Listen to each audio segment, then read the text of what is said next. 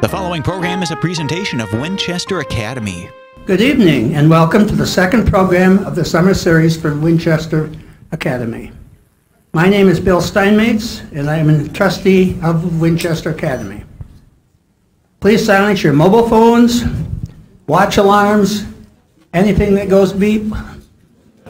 Also, please hold your questions until the end of the presentation. Wait for a microphone to be brought to you so that everyone can hear the questions that you're as- asking. We're pleased to be partnering, partnering with the Waupaca Library in their annual Community Read program. This year's book is Braiding Sweetgrass by Robin Wall Kimmerer. It is available for checkout upstairs in the library. A book discussion for Winchester Academy will be held here on Monday evening, July 24th, led by Sue Abrahamson. If you can't make that date, the library has other discussion dates available as well. Our next program is in one week, on Monday, June 26th, when Charles Cohen will present Muslims and Jews in Christian America. Due to a slight uh, mix-up, we did not have coffee necessarily ready early, so coffee and uh, cookies will be available later. Cookies are up here. Cookies are up there. The uh, cookie, the cookie sponsor tonight is Susan Stud, and tonight's program is sponsored by Dick Hansen.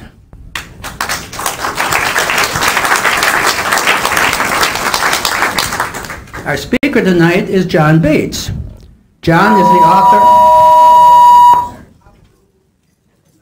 John is the author of 10 books and a contributor to seven others all of which focus on the natural history of the North Woods. He's worked as a naturalist in Wisconsin North Woods for 33 years, leading an array of trips and giving talks, all designed to help people further understand the remarkable diversity and beauty of nature and our place within it. He has served on the Board of Trustees for the Wisconsin Nature Conservancy, the River Alliance of Wisconsin, and the Wisconsin Humanities Council. He currently serves on the board of Northwoods Land Trust. John has an MS in Environmental Science from the University of Wisconsin Green Bay. John and his wife, fiber artist Mary Burns, live on the Manitowish River in Iron County, Wisconsin, where they raise two daughters. Join me in welcoming John Bates.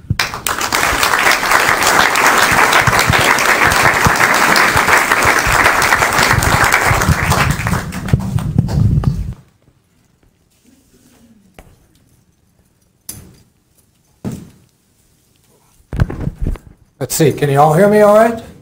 Excellent, good, thank you. Thanks for coming out tonight. Uh, What a beautiful night. I would have stayed home if I were you, but I appreciate your your coming out. Um, How are the mosquitoes down here? Our mosquitoes are killing us up north. We've lived up there for 39 years, full, and this rates as one of the top two years of mosquitoes. We we drive into our driveway and we look at one another and say, you ready, set, and we literally run to the door slam the door behind us. Anyway, it's rough up north, so if you're coming up north, wait a couple, three weeks maybe, and uh, mosquitoes will be down a bit, hopefully by then. The black flies are done. Usually they're a two or three week phenomena, late May or first week or so of June, and they tend to trail off, but the skeeters will last a lot longer. With an audience this large and, and this experienced, I often say, please interrupt at any point with, with questions, your experience. I, I want to acknowledge there's a tremendous amount of uh, wisdom in, in this group, I'm sure. Um, however, we've been asked to wait until the end to ask questions, so please save them. And if you have better stories, better jokes, better anything that should have been shared, please uh, hold on to that and share it at the end. That would be great. I always like to start with just that simple phrase, a place is a space with a story. I want to tell you stories about lakes. Um, and, you know, the stories, there's thousands of stories in any particular place. You put all those stories together into a larger region, in this case northern Wisconsin and all the lakes, and you end up with a mammoth novel uh, that's very hard to, to try to summarize in, in a talk like tonight or, or in a book. But that's what we're going to try to do. I'm going to try to tell you a few stories anyway about, about the lakes that we still have that are wild, um, still as God and evolution intended them to be. We live in Iron County on, a, on in the little uh, crossroads of Manitowish, population 29. We live in Mary's grandparents' old home. And uh, Frog Lake is just across the river, the Manitowish River, from our home. It's a, it's a wild lake just a half mile away, and Mary's grandparents owned property near this lake on the other side of the river as well as where we live today. And I, I got to wondering, we have this wild lake here. What, what other lakes are there in the state that are completely undeveloped. Um, what, what, what, do we have left? As someone who has paddled the, the, boundary waters, how many of you have paddled the boundary waters here? Quite a few of you. Gone to places like that where you've, you've seen literally hundreds of, of lakes that are wild and, and contiguous in the case of Minnesota's boundary waters. I wonder what we had done in Wisconsin at all similar. Also happen to live in Manitowish in a place where there's six other wild lakes right close to us. So you can look um, Oh, down the right-hand corner, there's Sherman Lake. That's a wild lake. Sandy Beach and, and Mud Lake, uh, more or less in the middle there. Those are wild, undeveloped lakes. Plunkett Lake, just on the north side of Highway 51, is a wild lake. And Brush Lake and Kelly Lake up there are really wilderness lakes. You've got to slog through a whole lot of bog to get to those places. So we're really blessed with, with undeveloped lakes in this little tiny place in, uh, in southeastern Iron County. So the question was, does anybody else like us at all? When we think of wild lakes, we tend to think of big places. We tend to think of the BWCAW, um, which is it's an unfair comparison. They have 1,200 miles of canoe routes, over 1,100 lakes from 10 acres to, to 10,000 acres. Uh, it's just, it's a million acre wilderness, uh, all connected via portage trails. It's the best um, kayaking, canoeing place in all of North America fundamentally.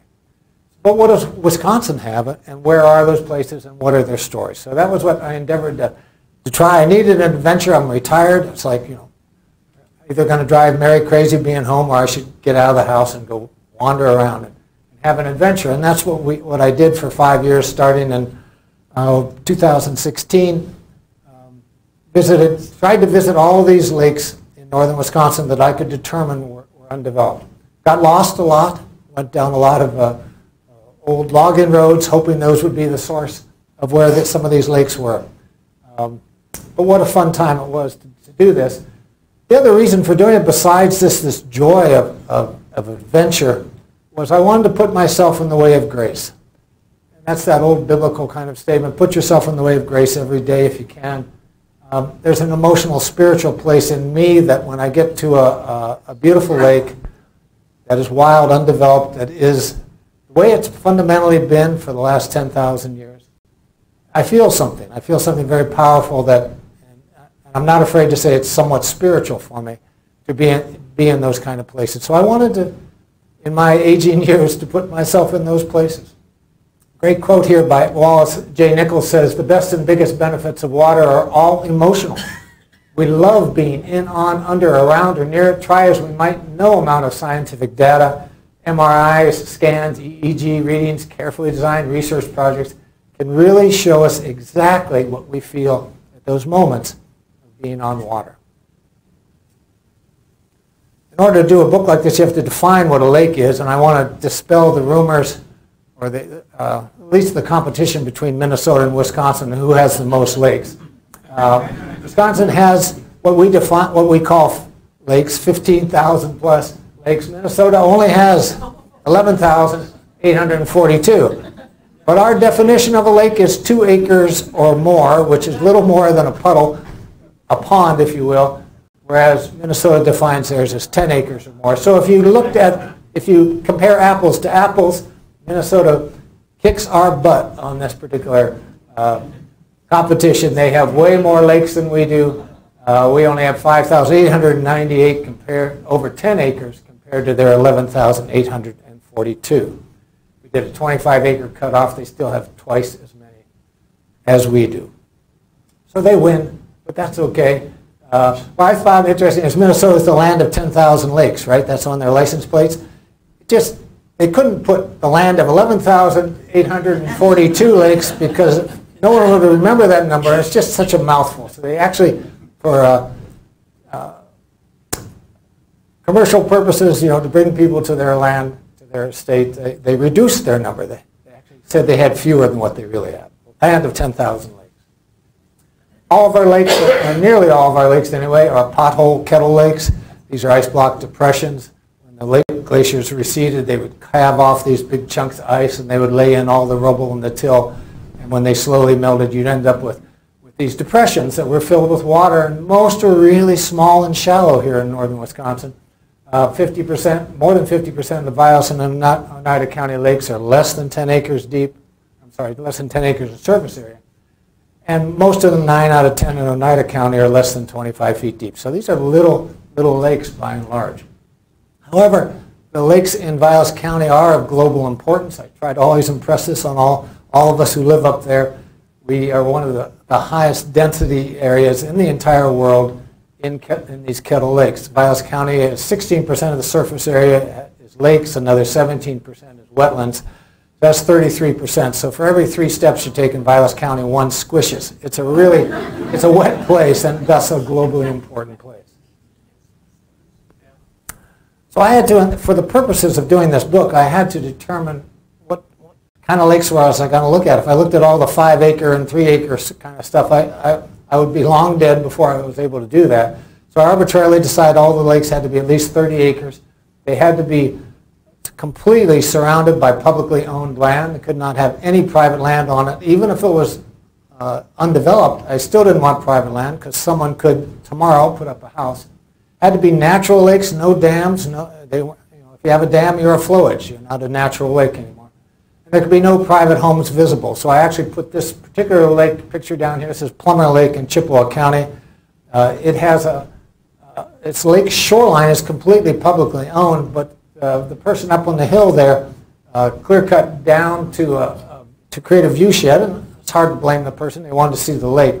But because that, that, that was visible from the lake shore and from being on the lake in a canoe, I, I disallowed that one and did not include it. So you couldn't see any homes from the, from the lake itself. But I compromised and said they could have campgrounds on there and, and they could allow motors. Um, which begs the question of how wild, therefore, is wild. A lot of folks said to me, well, if you, if you have motors on a lake, even though it's undeveloped, it's hardly wild. And they have a good point. Um, so a number of the lakes that are, that are in the book that we found did have piers going out on them, had boat landings, had campgrounds, as I was saying. Um, Sweeney Lake here on the, on the right has a big parking lot and large motorboats are coming in there all the time because it's a fisherman's paradise. Um, but it's an undeveloped state-owned lake that's quite large and quite beautiful. Uh, nevertheless, you have to dodge motorboats if you're out there in a canoe or kayak. Some of the places, though, are quite difficult to get to. Grandma Lake up here in, in Florence County. It's a 10 or 15 minute uh, portage into the bog, which you then have to walk across about 100 yards across bog to get to the lake itself. Riley Lake, also in Florence County over here. Um, it, the trail to it has been completely submerged via a bunch of beaver dams. So here's Mary trying to, to pick our way across what is now basically a beaver dam rather than a trail, trying to get back, gosh, almost a mile back into Riley Lake. So that was quite difficult. We still made it. However, some we never made it to, to be honest. Um, we're old, you know. We weren't willing to suffer quite that much. Uh, if I was 25 or 30, maybe I would have crossed the half mile of bog to get to Ponds Lake there in Price County. But, you know, we always say wear a red hat if you're going to walk in a bog so somebody can find you later. So at least find your hat, yeah. Um, I didn't want to cross that. So there was a number of lakes in the book, uh, about 10 that we never got to simply because they were so dang hard to, to try to get to. In the case of Gates Lake here, we got to the that little road there on the far left, and this old road, old logging road was supposed to be in there, would have completely grown up into an aspen uh, dog hair stand. You ever try to walk through young aspen? It's virtually impossible. And, and that day, that was about May 20th or so, and that particular day was the first hatch of mosquitoes. And it was a god awful everywhere. I opened up the door and there was swarms, and we both looked at each other and said, no, and we drove on. So I don't know what's at Gates Lake, but it is in the book, and we give you directions on how to get there. So feel free to go find it. Uh, but good luck. So it was a five-year adventure trying to find all these places. The way I found them was by looking at plat books, bought plat books from uh, every county in the northern part of the state. Then I went to the DNR website, which is exceptional. The DNR has every lake in the state uh, described, so you can punch in whatever lake you want to know anything about, it, and it'll give you the depth and the sediments and the acreage and so forth. So a great resource right there. And then looked at topo maps, trying to figure out how in the heck to get to the, to the sites so that we could paddle them if we could. We paddled most of them. Some of them we were only able to walk into because it was just too darn hard, like Riley Lake, to even carry a canoe into. But most of them we did actually get to paddle. So why paddle lakes? Well, here's what they don't have. Uh, this is a lake in China. Um, can you imagine? Um, that's one reason to paddle or to sit by a wild lake is not to have that. Wild lakes also don't have wave runners, don't have uh, jet skis, don't have marinas, don't have McMansions, don't have a lot of things that, to me, detract from the real reason most of us want to have property or, or want to visit lakes is because of the wildlife, because of the peace, because of presence of that place is altered to some extent by these things. They also tended not to have invasive species, which I was really delighted to find.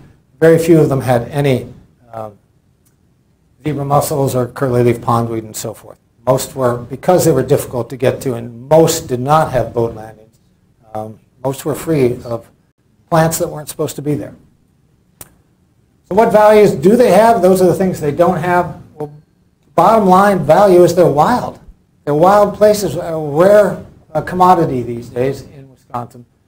And they're found in, in, by and large, in rather small places. But, so we don't have a Boundary Waters wilderness. We don't have a million acres plus, but we have these little lakes patched here and there and everywhere. And each one of those has its own personality, has its own uh, soul, if you will, that's worth trying to understand. Love this quote by Jack Turner his book, The Abstract Wild. He says, without the experience of qualities such as wildness, magic, spirit, and the sacred, we treat flora and fauna as resources and playgrounds. I love the fact that he uses wildness and then adds magic, spirit, and the sacred. And uh, however you'd like to, to define the word sacred, I don't use it in necessarily a religious context, but in a context of a place that needs to be fully honored. That's, to me, is what's sacred, and that's what these places are. John Muir thought if we just got everybody into these wild places that conservation would happen automatically. He wrote back in 1895, few are altogether deaf to the preaching of pine trees. Their sermons on the mountains go to our heart, and if people in general could be got into the woods, even for once, to hear the trees speak for themselves all difficulties in the way of forest preservation would vanish. Jack Turner responded, they got into the woods, but not everyone heard the trees speak. Muir could not have understood that setting aside a wild area would not in itself foster intimacy with the wild. So I'm acutely aware of that fact, and one of the reasons for writing the book was to get to people into these lakes. But I'm, I'm very much aware that not everyone will look at those lakes with the love and the conservation mind that I would like them to bring to it. Others may just simply see it as a as a as a resource to plunder. Um, nevertheless, I'm hoping that in, in, having written the book that people will, for the most part, fall in love with these places. And when you fall in places, fall in love with places, you can serve them. The bottom quote here is from Stephen Jay Gould. We cannot win this battle to save species and environments without forging an emotional bond between ourselves and nature as well. For we will not fight to save what we do not love. James Kunstler wrote a book in 1993 called The Geography of Nowhere, and he was talking about all this monotonous cookie-cutter development that happens in most of our cities and our small towns, for that matter. Some of you may remember Malvina Reynolds' song Little Boxes. Anybody remember that song from back when, all us folk, folkies from back then? And Kunstler was talking about how places had lost their souls and the places were now nowhere. They weren't somewhere, they were nowhere because every place tended to look the same. He said no one wants to live in nowhere. So uh, these wild places to me uh, are a geography of somewhere, and that's what Kunstler was saying. We need to create a geography of somewhere. Every place has to have its own personality, a recognizable soul, if you will, because we all want to belong to somewhere remarkable and somewhere unique. So a little, just a little science about how uh, wild lakes differ from developed lakes. Uh, this was a study done in 1997 on some Vilas County lakes near us uh, by the DNR. And this is just plants. And that, since that's the foundation of everything, look how much more canopy there is left on undeveloped lakes, how much more understory is left, and how much more shrub layer is left. And that's where all the birds live. That's where all the mammals live. That's where all wildlife is living in those and utilizing that plant life give an example of a specific species they studied also in 1997, green frogs. They're all calling right now. They're the ones that sound like a loose banjo twang, gonk, kind of gonky sound. I can't do it. Can anybody do a green frog imitation? No one in any audience has ever been able to do one. I'm waiting for someone to do green frogs. Anyway, if you can look at this chart to, uh, where there are no homes whatsoever, there were 40 frog, 40 green frogs per mile and as development increased to where there were 30 homes per mile, green frogs completely fell out. So it'd be interesting to do studies on every single species. Some species do better with development.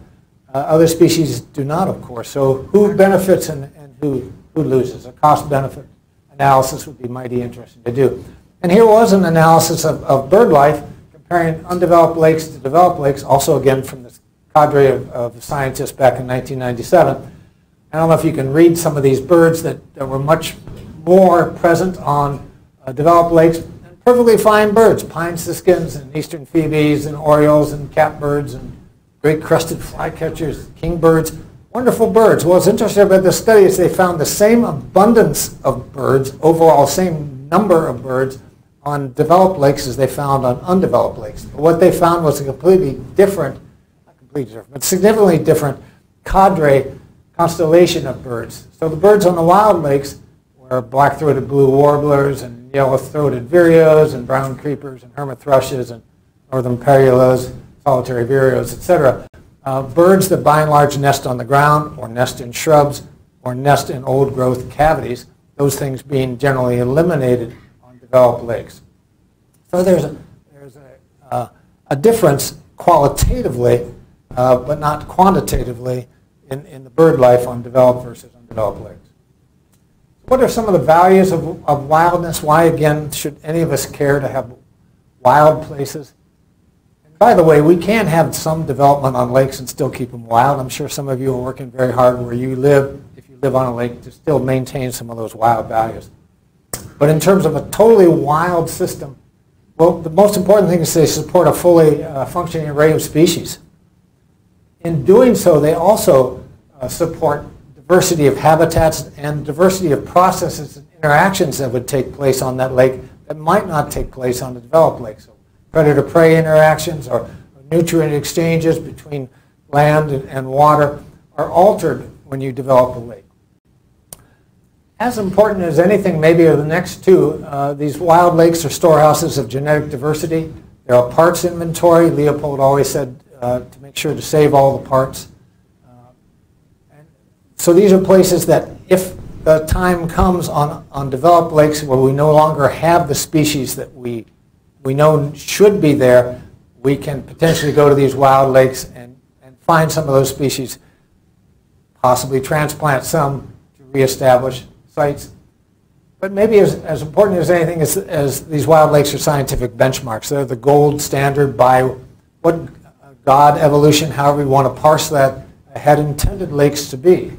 So what's normal? I remember speaking with Tim Kratz, who was the director of, of the uh, Trout Lake Limnology Lab up in Boulder Junction, asking him what Trout Lake was trying to now understand. This was in the early 2000s. Trout Lake was begun in 1926, and they have hundreds and hundreds, well, thousands of, of studies that have been done there. Lining shells. I said, what are you still trying to figure out? And Tim said to me, we're still trying to figure out what's normal. I thought that was just fascinating. He said, what? We don't understand yet what makes this lake normal versus this lake because lakes vary so dramatically, even though they're right next door to one another. One may be uh, sustaining a whole lot of algal development, another one may be crystal clear, and you look at them and you go, oh, what's the difference? Why? But anyway, so there's the scientific benchmark that if you're a manager of water, or if you're someone who lives on water, how do you know what you're supposed to do? I would suggest one of the ways is to model uh, what you do on your lake by looking at wild lakes and seeing what they do. And all the values of education and recreation and, and beauty, I, always try to remind folks that beauty is not optional. Why do so many people live up north and visit up north?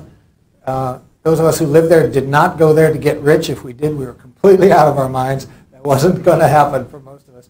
We came up there for beauty, or some form of recreation possibly, but beauty in more than anything else. The value of simply sitting on the end of a dock and looking out a, out a peaceful lake. You all live here on a chain of lakes, or near a chain. You know, maybe you all don't live here, here in Waupaca, but uh, you all know what I'm talking about, right? The value of that piece, of that ability to, to decompress, to let go of things by being in the midst of beauty um, is invaluable. It's, it's, it's una I'm unable to express what that really means. All I know is it means everything. And finally, these uh, wild places are a reservoir of what's sacred, or a reservoir of peace, which is darn hard to find these days. And that's good for our soul. So what are some of the values of wilderness? A guy named Paul Gruchow uh, wrote uh, a great essay as part of a book on, on the boundary waters, and he he listed a number of values of, of wild places, and he talked about the value of silence, that uh, there's no noise that doesn't belong in these places. The noise that you hear is what's supposed to be there. Sigurd Olson has that quote, the, wild, the wilderness sings because it contains so much silence. Here's a winter wren singing. I don't know if we'll be able to hear it.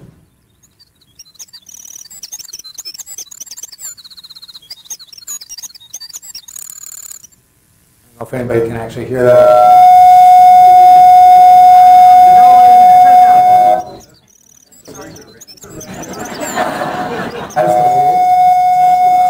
Oh, I guess that's not working. Oh, we were trying to turn up the volume because we've been having some trouble with this. Uh, but it's just a gorgeous, incredibly compressed little song. It goes for six seconds or so. The bird sings on the in-breath and the out-breath. It's an amazing little song. If you're a birder, you know about this song.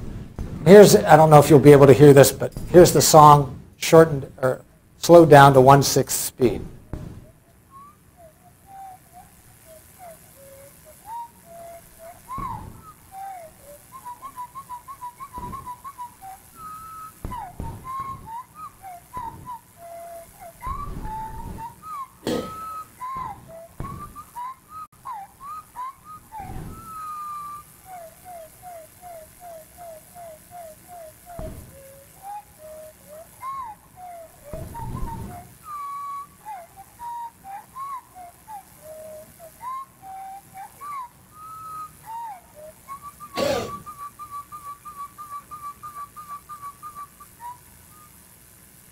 beautiful?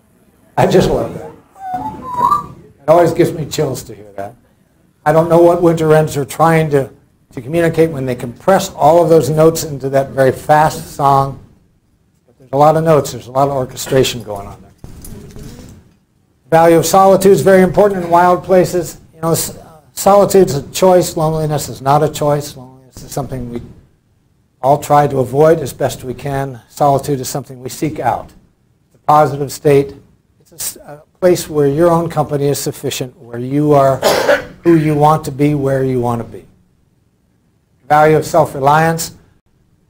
I like this last line in the wild. Ego is as useless as money.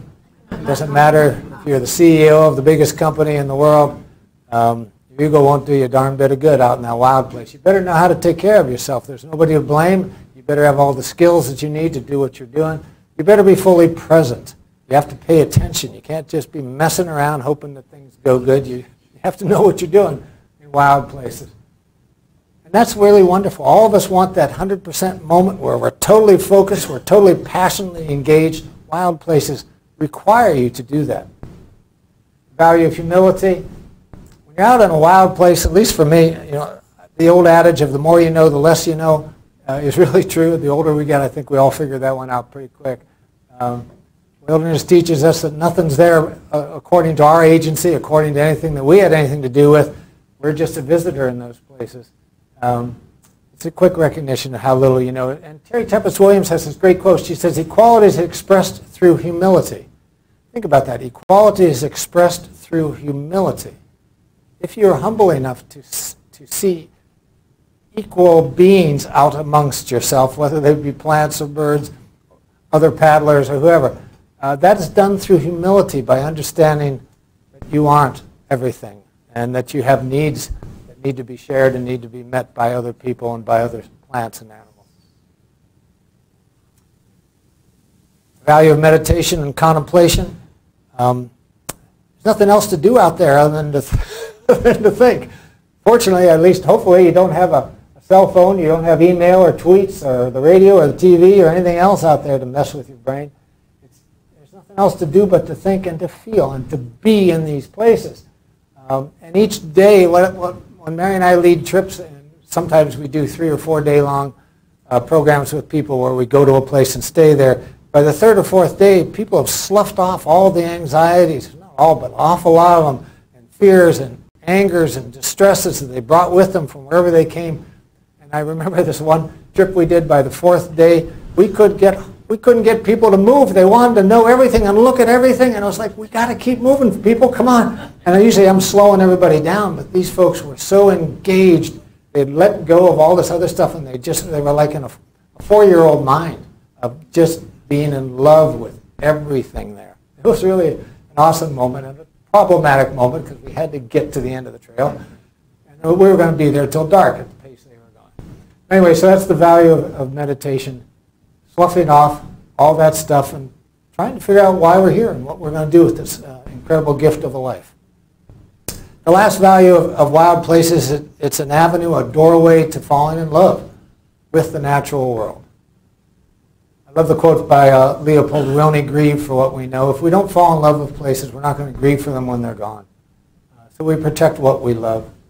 And we learn to love the world bird by bird, flower by flower, fish by fish, by plan. There's no short course. It's, it's, a lifetime of work, and then you still don't know one gazillionth of what you ought to know because it's so complex out there. But we need both this ecological literacy and we need an education of the heart. We need to combine those two things to have wisdom in how we're going to live out the rest of our lives. So a little bit of science that I threw in the book as well. Uh, I wasn't trying to write a limnology textbook. I'm not smart enough to write a limnology textbook. Uh, but I wanted to still, at the same time, for people when they paddle on lakes, I wanted them to think about a number of things and why do lakes natu naturally differ. So when you approach a lake, you can be trying to look for these things.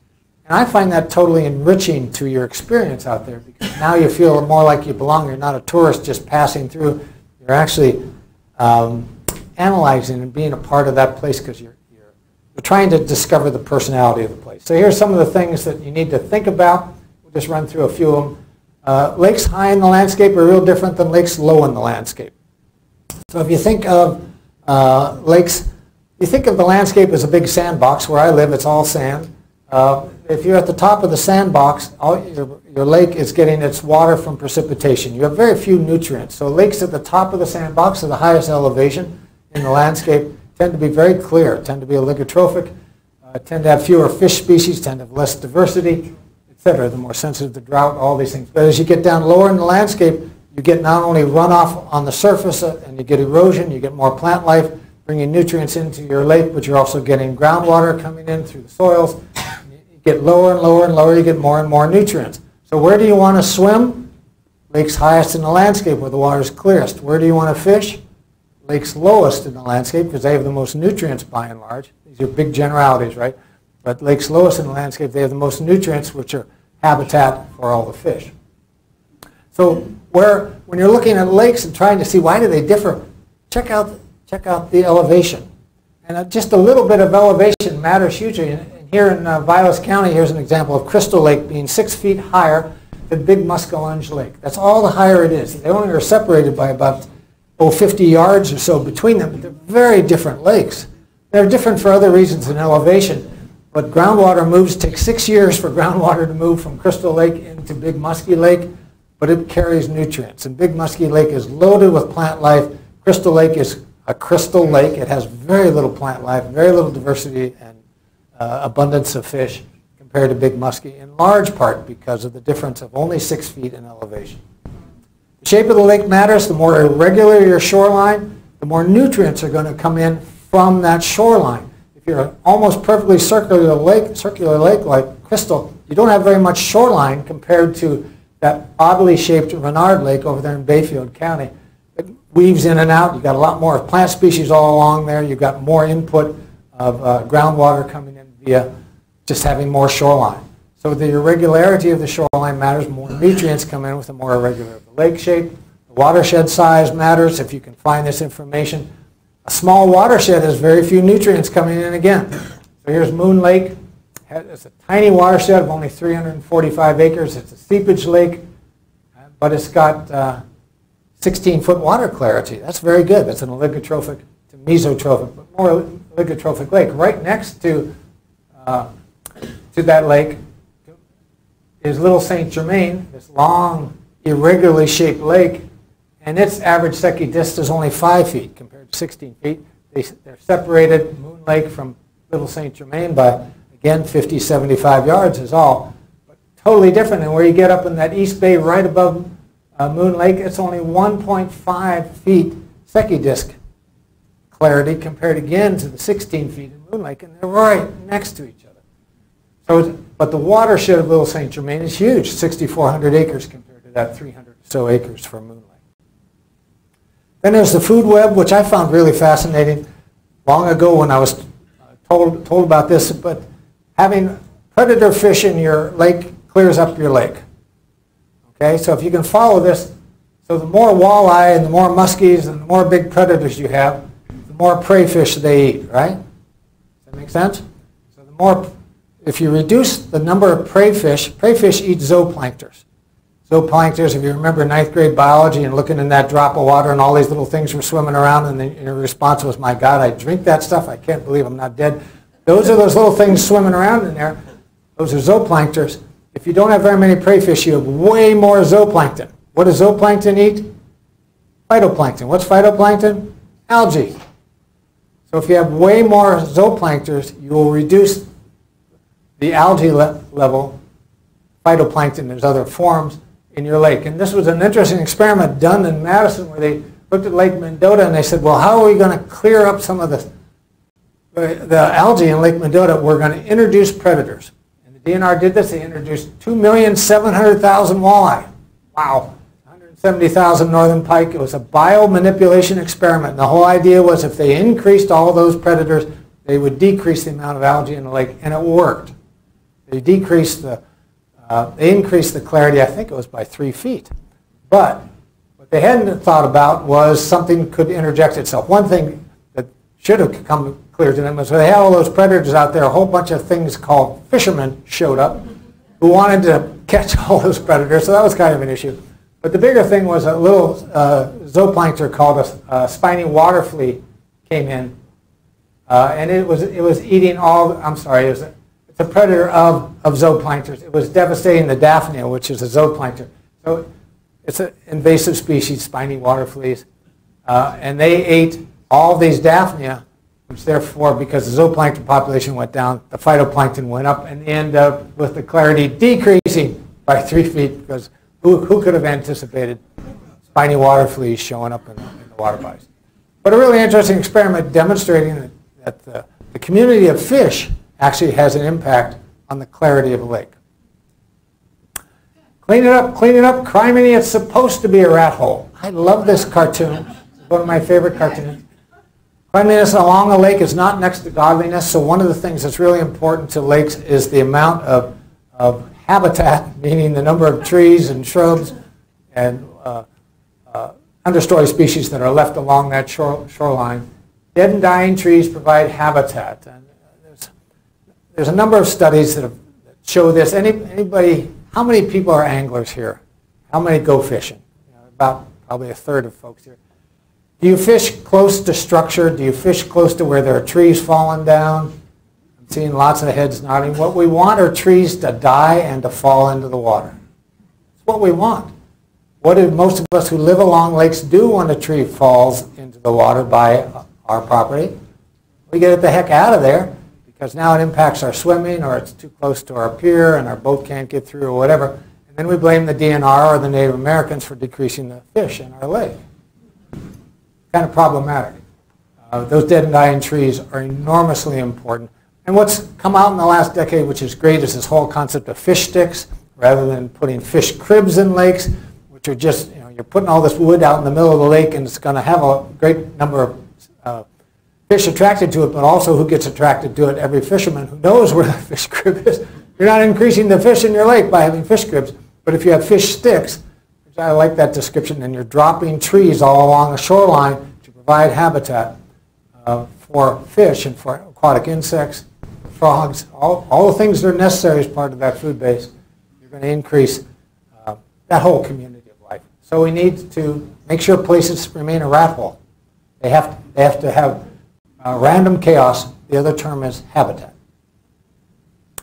Ontario study looked at uh, trees in the water, and I thought this was fascinating. They found the average age of the logs, how long they had been in the water, was 443 years. When wood falls in the water, it stays there for a very long time.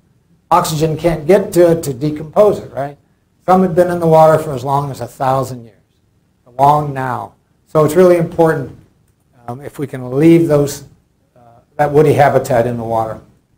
Study on northern lakes, up my way again, looking at a, a lake shore like this one. It takes 200 years to replace the down trees that are removed from nearly all developed shorelines in Wisconsin.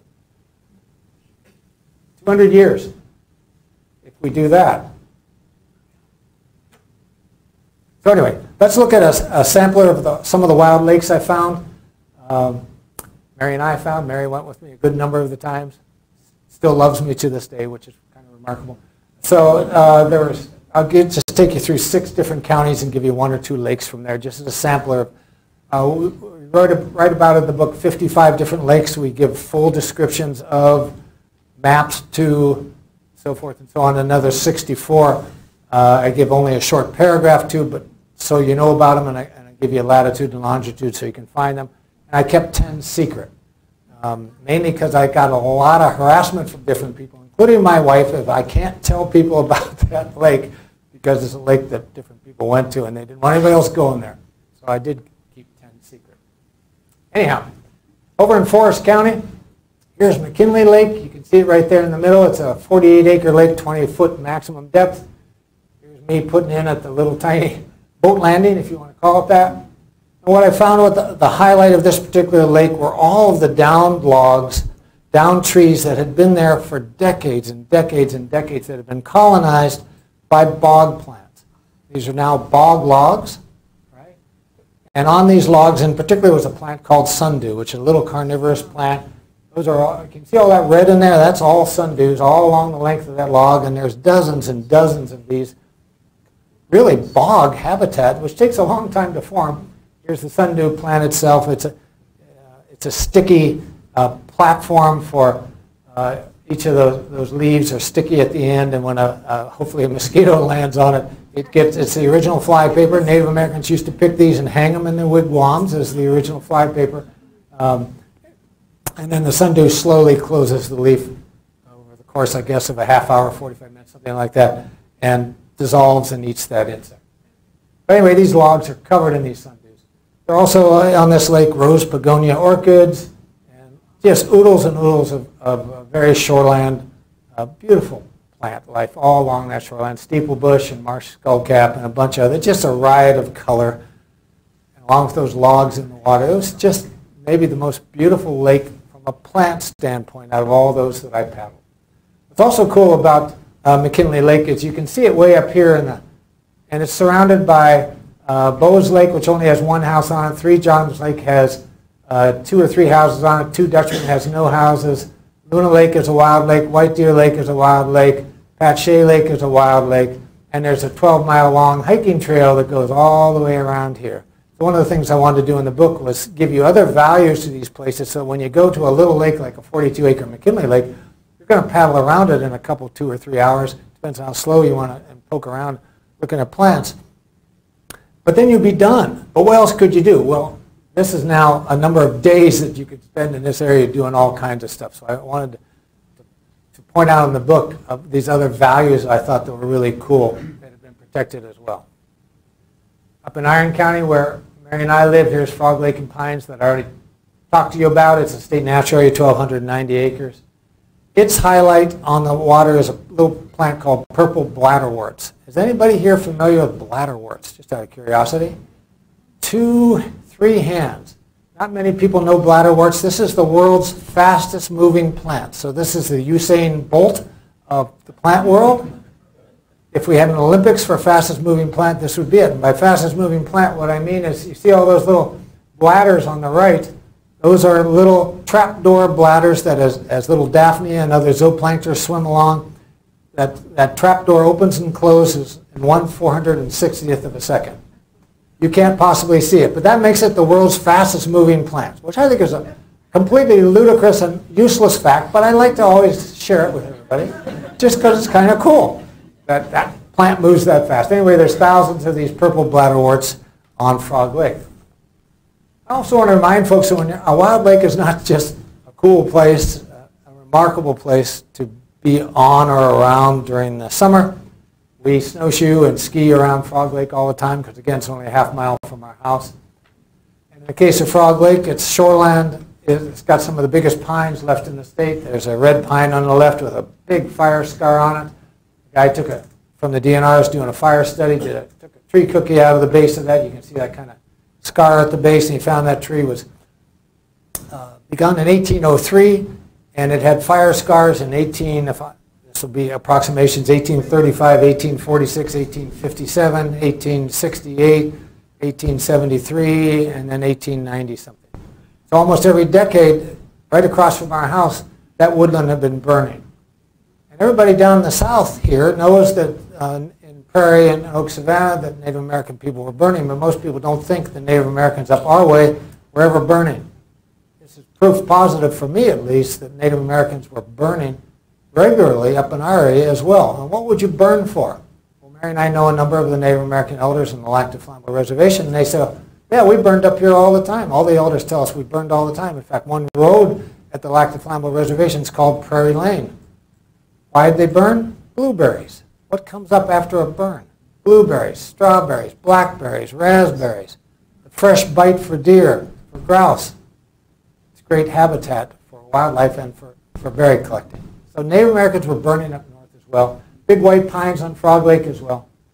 Moose Lake up in uh, more north central Iron County. It's one of the larger lakes. We don't have a lake, by the way, that's a full square mile. That's wild and left in the entire state. We don't have 640 acres of wild water left. That's how much we've developed all of our lakes. This is the big, well, I'll get to the biggest one in a moment. Moose Lake, I think, ranks number five at 270 acres. It's 12 foot maximum depth, only six foot mean depth. That topo map shows houses there on, on the east shoreline. Those have all been taken down. It's part of a state natural area that's 4,293 acres large. And, some of the, the highlights of this site are trumpeter swans nesting, um, a lot of tussock sedge along the shoreline. These are ankle busters if you try to walk through tussock sedge. A lot, know, three or four beaver lodges. A lot of pickerel weed, one of the more common aquatic plants along the shoreline there. Going to Oneida County, there's Kennard Lake, has a campground on it. So here's one that I included that has a campground, but it's a wild lake with a, a stream that uh, connects it to Sweeney Lake, which is another wild lake. Um, 23 foot maximum depth, a small lake again, 44 acres. Its keynote to me was all the white water lilies. Big colonies. Uh, white water lilies, a clonal plant. It, it, spreads via underground, sorry, under the sediment uh, rhizomes, and up comes uh, new plants. Um, these guys, these colonies say, say the aquatic ecologists can be over 100 years old. So when we talk about old growth, white water lily colonies are old growth. They've been around a long time. Hopefully you've all smelled a white water lily leaning over your canoe and almost capsizing to do so. They smell a lot like fresh oranges to me if you get a good one. They're really a lovely smelling flower. Bought a camera for this uh, project, uh, going to all these lakes, and 95% of my pictures came out blurry because I, I wasn't underwater, so I couldn't focus. I'm just holding the camera right there and pushing the button, hoping something good happened. Here's something that good that happened. One of the rare times is I got a nice picture of the underwater stems coming up in the white water lily column. I thought that was really cool. Kennard also has just a whole lot of, of aquatic plants. Remember, aquatic plants, think of them as, as uh, understory plants in a forest. If you don't have understory plants in a forest, you're not going to have wildlife. And if you don't have aquatic plants in a lake, you're not going to have wildlife either. You have to have some plants. Too much of a good thing is a bad thing, but this particular lake had wonderful diversity and wealth of plants that made it good for a whole lot of other wildlife species. Rose pogonia orchids were on the north side. Great place. Also in Oneida County is McNaughton Lake, 121 acres. Probably the reason it's still a wild lake is it's only a four foot mean depth. Maximum depth is nine feet. Not a place you're going to go water skiing or do much anything with, and it's pretty silty and got some sand, but generally not a place that you're going to want to walk around in much. Uh, but it's a beautiful little lake. Uh, lots of bird life. Has water willow, swamp loosestrife is one of the uh, shrub species uh, on the north end of the, of the, uh, of the lake that I find really beautiful. This lake had more northern water snakes than any other lake we visited. Uh, so if you don't like water snakes, don't go to McNaughton Lake. There are a lot in this particular water. Um, they're not poisonous. They won't harm you in any manner unless you try to grab one, then they will bite you. Most of us would bite somebody who tries to grab us and shake us and look at us.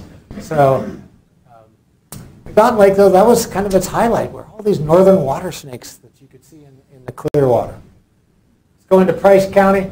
There's Tucker Lake. You have to portage into Tucker Lake. The easiest way is to, to boat across Round Lake.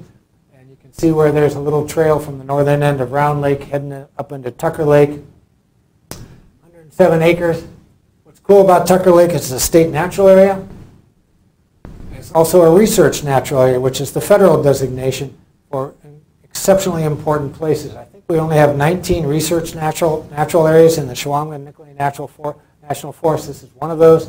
It has about 68 acres of old growth forest right there in the portaging area that you'd be in. There's also a beautiful trail that walks around Round Lake that we're leading a hike for the Natural Resources Foundation this summer in. If you want to join us in going back to this particular lake. And here's our youngest daughter and our Australian shepherd walking along that portage path through some big eastern hemlocks, uh, heading back to Tucker Lake. Highlands County had the most wild lakes left in the state, 24 lakes.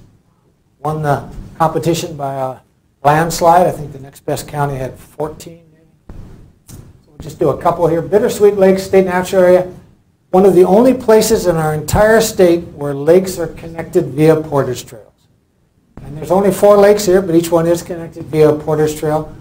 Amazingly enough, we have almost nowhere in the state that you can go where there's linkage between lakes of portage trails. It just doesn't exist. It's something, for whatever reason, we never did. One of the reasons for writing the book is to try to get people to pound on tables with the DNR or the National Forest and say, let's do that. Let's, if where we can, let's establish portage trails. They may have been there in the first place. Let's reestablish them so that people have these lakes that they can portage to get some many, many, many boundary waters kind of things going. We just don't have it in our state. So here's put in on the first lake on Prong. This is my 21 pound, 12 foot little canoe, which blessing to say the least. Uh, most of these lakes had, uh, all of them have one or more campsites on them. And here's just the portage site. They all, all signed for you to go between those four little wild lakes. Aurora Lake is not too far away, uh, maximum four foot deep. This is not something you're going to go swimming in. Uh, and it's 83 to 94 acres depending upon whether it's a drought year or it's a wet year. Right? It's going to expand or contract so shallow. State natural area. You see Frank Lake up there to the northwest of it. I'm going to mention Frank Lake in a minute. I just want you to keep that in mind. Look at how Frank Lake is surrounded topographically by upland, whereas Aurora Lake is completely surrounded by wetland. Here's the put-in, such as it is uh, at uh, Aurora Lake. It's a wild rice lake. It's usually end-to-end, -end, all wild rice. Absolutely gorgeous for birds and other wildlife. Wild rice, if you're not familiar with wild rice, the male flowers are down here. The female flowers are those little tiny flowers up there. You always have female flowers on the top of the plant and male flowers on the bottom because you don't want to self-pollinate. You want the wind-pollinated plant to blow its pollination to the side and and not hit your own female flowers that are above it. So here's a close-up of those little tiny female flowers. Each one of those will become a grain of rice. Here's one of the views on Aurora Lake. If it isn't wild rice, it's pond lilies or uh, a host of other aquatic plants. I love this site because it's loaded with birds. I've never seen so many sora rails in one site. In this particular site, Mary and I paddled there once. I think we had 13 or more sora rails. It's crazy, full of sora rails. Every bird on the planet likes wild rice, so come September, these are great places to go. Frank Lake that I mentioned just to the north of Aurora. Aurora's down here. Here's Frank Lake. Super clear, 70% sand, 38 feet deep. There's two lakes right next to each other, very, very, very different. Um, here's my, our youngest daughter, Callie, paddling with me out on this quintessential wild northern lake. Pines all around the exterior, all upland, super clear. Little island in the middle for you to stop and have lunch. It's a great lake. Loon pairs, of course. Most of these lakes did have loon pairs on them. Brings us to Bayfield County. Let's look at Totagatic Lake. This is our biggest lake in the state that's wild, 538 acres. Uh, it is also extremely shallow. I don't know if I mentioned, I don't. I don't have the, the depth. I think it's a maximum depth of six feet. This is a huge, almost a mile square lake uh, that is just a shallow fry, frying pan, and it's end-to-end wild rice. The best wild rice lake in the whole state. That's our put-in late in the fall or late September after the rice has been harvested, and the colors were just magnificent around the shoreline. And just all these, all the waterfowl that loves wild rice, wood ducks and ringnecks and, and uh, uh, green-winged teals and so forth, just loaded in a place like this, along with semi-aquatic mammals like otters and beavers and muskrats, mink. This is just an ideal place for all that wildlife. So coming to the end here, one of the purposes of the book was to try to uh, excite people to again uh, work with local government, with local DNRs and, and Forest Service people to reestablish the Wild Lakes program. Some of you may remember that we in 1993, there was a Northern Initiative survey. Anybody remember this out of curiosity? Anybody remember what's happening? All of us who lived up north were mailed a questionnaire from the DNR asking us what we wanted to see the north become. And the bottom line was everyone said, keep the north the north, whatever that meant to them. Keep the north the north. So people wanted land use development compatible with protecting northern Wisconsin lakes. That was the biggest thing everyone said protect our lakes. Problem was 80% or more of those lakes are in private ownership. And there's every reason to believe that by the middle of the century, every single one of those lakes that has private land will be as developed as they can possibly be. So the, the state came up with a four-tier approach to safeguarding these lands, these, uh, these lakes. And one of the, uh, of the four tiers was to buy, to try to buy some of the last wild lakes. They did buy a few of them. 2006, the Trust for Public Land and the U.S. Forest Service combined together to purchase uh, Canthook Lake and Steelhead Lake, and I'm forgetting the name of that lake up to the top, but those three lakes and 11,700 feet of undeveloped shoreline, uh, and remove those three houses that you see on, four houses on Canthook Lake there. Those are now removed. So now this is a wild area. Unfortunately, the, the uh, Wild Lakes program was dissolved in the gosh, 2008 or so in that ballpark. It only had been around for about a decade. It's a political decision that we shouldn't be putting our money into more public lands. We have too much public land. End of discussion on, on wild lakes. Um, but we have a $7 billion surplus in Wisconsin, do we not? And I've wondered, wouldn't that be a wonderful thing to say to our, I hate, I'm not trying to be political. I'm just talking about lakes. Wouldn't it be great, though, if some of both parties came together and said, let's buy some more of these lakes. We found a number of lakes that weren't in the book that had one owner, or maybe two at the most, who might be willing to sell voluntarily. Nobody's going to force them to do anything. Uh, and it might be a life estate thing where they live out the rest of their life and then they donate or sell the lake to, to the DNR or to the Forest Service. Why not use some of that money?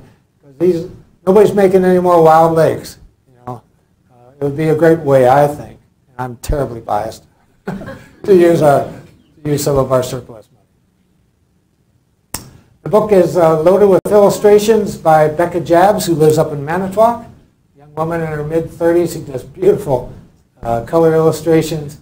It was a homegrown book. Uh, the layout design was by Bev Watkins in Green Bay, and good friend Bob Kovar up in Manitowish Waters did the cover, and Christine Seidel did the proofreading. Anyway, so it was a Wisconsin book. I like that fact. Here's some more of the illustrations that Becca Jabs did in the book. So if you're trying to learn some of the dragonflies or some of the aquatic plants, this book will help you learn some of them. And they're just beautiful, beautiful illustrations. Last but not least, uh, should I publish a book on the last wild lakes or keep them secret? I've had a number of people literally angry with me for publishing this book. My response is no one ever washed a rental car. Has anyone here ever washed a rental car? Yeah, I knew it. Three people are raising their hand. Why did you wash your rental car? You've been out mudding around in it, right? And the only reason you did it so you'd get all your money back. Is that correct? Correct me if I'm wrong. Did you do it out of a moral or ethical obligation to the rental car company? I'm German. What's that? I'm German. You're German. That's an interesting excuse. Um, well, so oh, I won't even go there. Um, but the point being, ownership is not necessarily as a legal title sense, but ownership is a heartfelt place. Do you feel ownership for the place and where you live? Right. And so it's a commitment. It's a marriage to a place. And that's what I was trying to help foster through this book was to get people to more deeply fall into love and ultimately marry some of these places. Because there's going to be pressure into the future to sell off our public lands. As more and more of us live here, more and more pressure for a, a greater tax base to, you know, to, for schools and roads and all the things that we all need. And if no one is there to say, no, you, you know, here's this lake, Totagatic Lake, it's the best wild rice you can't be selling the homes all along there. You can't be doing that. If no one's, no one's fallen in love with these places, there'll be nobody to fight for them, to protect them. Because really, they're just rare as all get out. If I could only find 138 or so lakes over 30 acres that are still wild left in the entire state, that's not very many. They're really rare. And most of them are really small.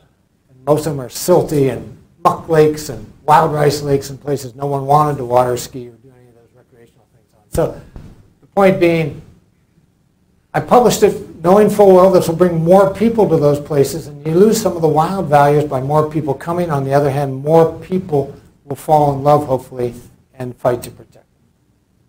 Finish with this quote by Edward Abbey. Love Edward Abbey. Wilderness is not a luxury, but a necessity of the human spirit, and is vital to our lives as water and good bread. A civilization which destroys what little remains of the wild, the spare, the original, is cutting itself off from its origins and betraying the principle of civilization itself.